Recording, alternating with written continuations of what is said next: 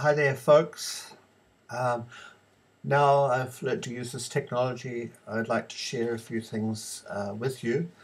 Uh, yeah, unfortunately, I don't really have the gift of the gab, so I'm going to rely on my notes to do this. Um, events are moving very, very quickly in the world. Uh, today, we had news of Obama's big plan to tackle climate change. Uh, this comes at the same time as news that the Pacific is warming up and is likely to deliver a whopper of an El Nino and unprecedented climate chaos. So, even if Obama's plan is more than just rhetoric, and it's not just pasted onto a reality of fracking, tar sands, and waging war for the last crumbs of remaining easy energy on the planet, the genie's out of the bottle. And we likely have runaway climate change, and I've forgotten just how many positive feedbacks. For as long as I've been at this, media outlets have somehow reflected each other, even if they come with their own biases. Since the Iraq War, CNN and BBC have lied to us, but it seems now we've reached a new level.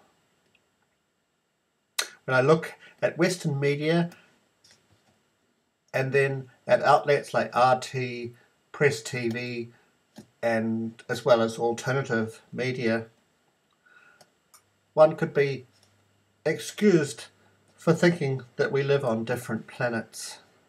There's no relationship between them at all. Look for mention of a massacre in Odessa of 40 people by fascist thugs in the Western media, or at least some mention that children from Slavyansk have been evacuated and had to walk across the border to safety in Russia, while the Ukrainians try to turn them back to share in the fate of their city that's being bombarded and people killed, or of orphanages being bombarded, or the Western mercenaries fighting with Ukrainian troops and presumably directing things from behind the scene. Not a word. It seems, though, according to Germany's Spiegel today, that the side of truth is winning the propaganda war or as they say, the Kremlin is winning the propaganda war. The US tried to lock the front door with sanctions, but they forgot about the back door. And now the Eurasian bloc is turning its back on the dollar, the almighty dollar, and Russia and China have now signed a huge 400 billion dollar gas deal that promises to lock Western companies out. Think 1984. Oceania is at war with Eurasia, and the whole narrative has to be rewritten. War is peace, and peace is war. 2 plus 2 equals 5. There is a lot for us to get our head around. Here in New Zealand, as elsewhere, I'm sure, if one chooses to keep one's head in the sand, one could just think that things are normal. Unless you're unemployed, or if you live in post-quake Christchurch. The blog I've been keeping for the past three years has been as important to me as it presumably is to you and it was certainly a landmark for me when I reached my first one million views. Now I want to talk about matters that are a little bit more personal to me. In the middle of April I received a phone call from Carolyn Baker to say that Mike Ruppert had died by his own hand. This was a terrible shock for so many of us not least to myself. Although I've never met Mike or even spoken to him, I counted him as a true friend and the linchpin in a family of people that are united by their desire to see things as they are. In Guy McPherson's words, to look truth squarely in the eyes. Some of you will be aware that my health has been declining for some time. At about the time I heard of Mike's death, I started to experience symptoms like tiredness and dizziness.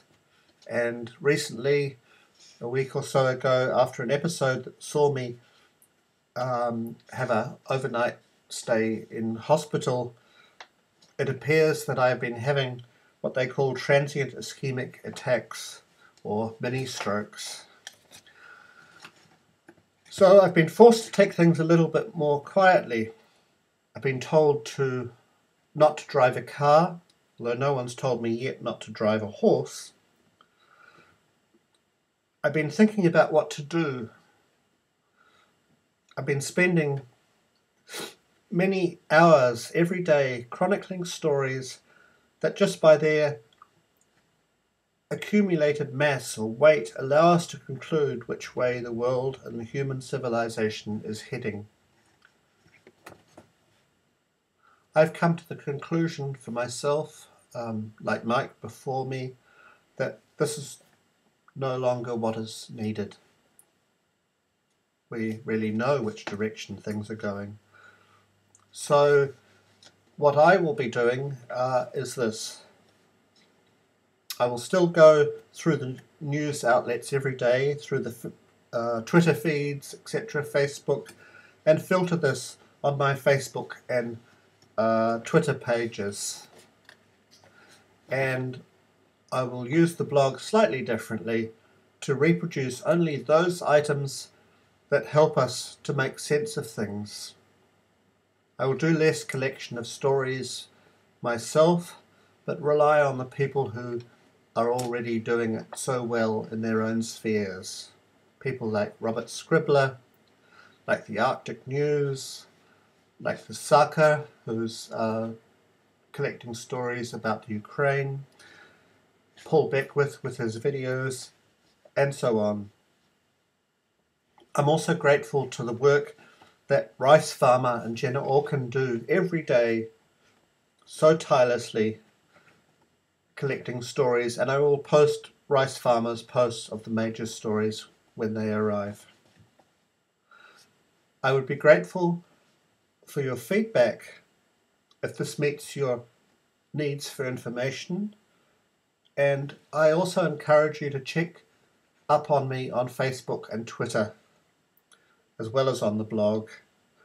That's especially if you're a news junkie like I am. Now, just uh, one other thing, I always leave the most difficult to the last. I've not had an inco- independent income for three years. I used to work as an acupuncturist before this, but my but my partner Pam um, had a job in the Department of Conservation, so we've lived quite comfortably off that one income. However, she's been recently made redundant, so we've lost that income, and at present we're uh, living off her savings. Uh, so my needs are very modest, and I've never wanted to and have never asked for money.